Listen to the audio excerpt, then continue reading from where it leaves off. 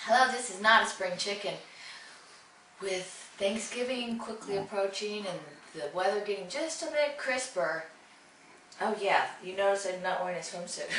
It it is cold in here. it's cold. So I'm getting in the mood for some hot apple cider for the holidays, or at least for the colder weather.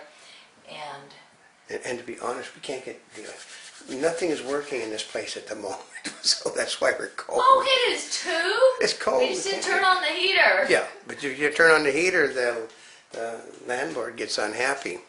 The lamp. Oh yeah, thanks. Yeah, Anyway, keeping those utility bills down. that's right. Okay, you, you, you would be happy to get this room up to 72 degrees. so anyway, um, making hot apple cider. Now, one of the first things, of course, you need is cider. This this is just your old garden variety one from Vons. They also have some absolutely wonderful ciders that already have spices in them. But you know, what happens if you just have a plain old one? Right here, what can you do to make it taste more like that hot apple cider you love? Yeah. So we're going to show you a couple different ways of doing it. Of course, this is one of those Disney ones. This is one of my favorite mugs of all. It's the villains. yeah, I know. Why would she like a villain's cup? Oh, it's just fun. And so, of course, hot apple cider is always the first thing you want to start with. Different ways to do it, of course, is just to have your great old cinnamon sticks. Put them in there, Yeah. heat it up, stir it. That's always a nice way to do it. Yeah, Yeah. that's a standard way right there. Yeah, but if you want to give it a little bit more variety, you can. There's a Uh, couple things that you can do. You know, that one we discovered, which we're waiting to use to see what it's going to be like. Actually, you can take the cinnamon stick, do a little bit of grating of it, because it's fresh cinnamon, and then start the stirring. You could, of course, pour in cinnamon spices. This is the easiest way besides just sticking the way to stick do it. in. I know, that's a huge one. Yeah, be careful about how you do this, because the holes, Yeah, it can open it the up holes wrong, can you be, dump it. the holes uh, can be quite big. Yeah, I would, I would open the lid up and just simply stick a The spoon in there. and, and Because you don't want more than an end of stuff on a a little spoon. bit. But this one I happen to love. This is actually I picked this up from the 99 cent store. You're gonna laugh.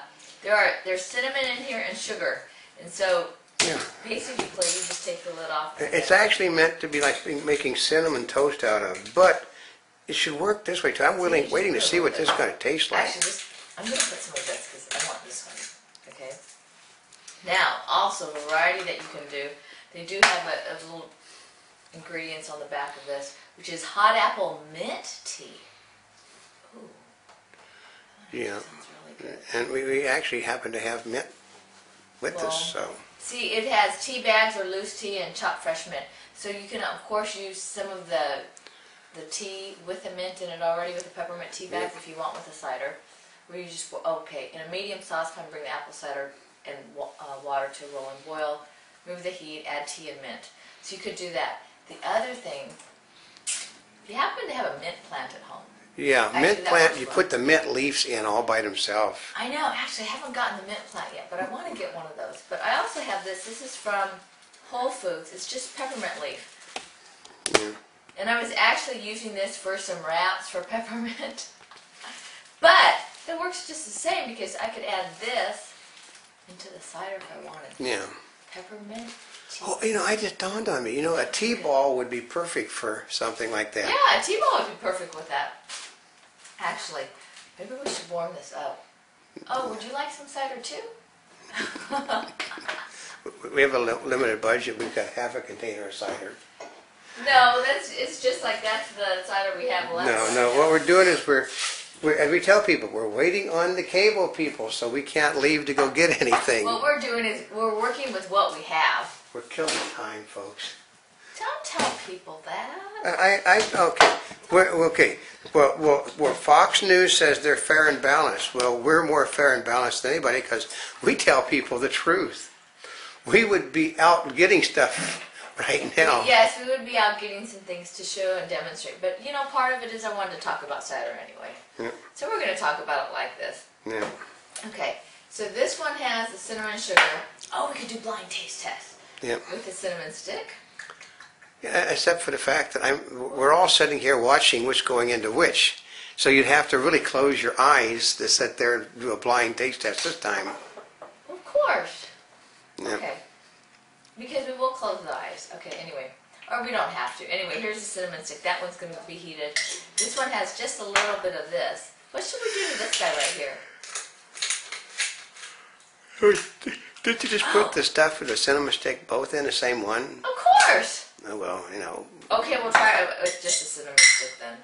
yep. Well, because you've, you've, you've the little contam- one? she's contaminated the test already. So, yeah, it's a blind taste test with everybody standing next to me watching which cup has got which. I And, know, but see, part of it is if we put blinders on.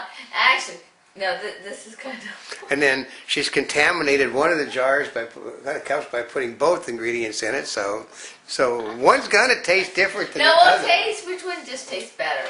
Yeah. I mean, this isn't like when we were doing, what was it? The uh, vanilla Dr. Pepper, was it? And Yeah. the the cherry.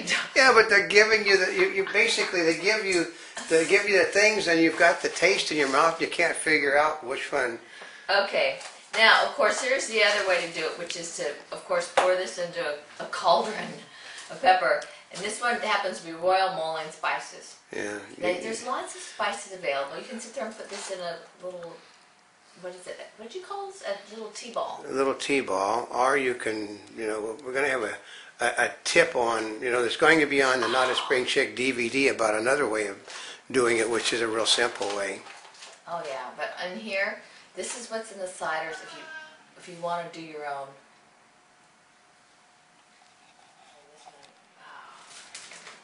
Hmm.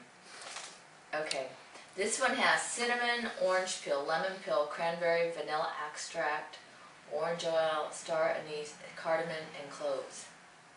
Ooh, vanilla extract. You know what? Special vanilla also. Okay. Where is it? Okay, you can always if you have vanilla bean. I happen to have a special one, classic vanilla premium quality. Actually, I picked this up from Mexico. Mm. Some like I, I know, but if you add it to one of the, you need a third cup to do that one. oh, this smells really good.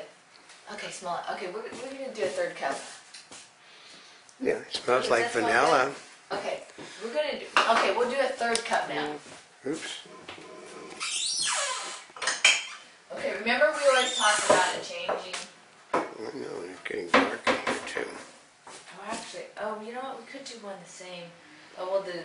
Everybody's getting a cup, guys.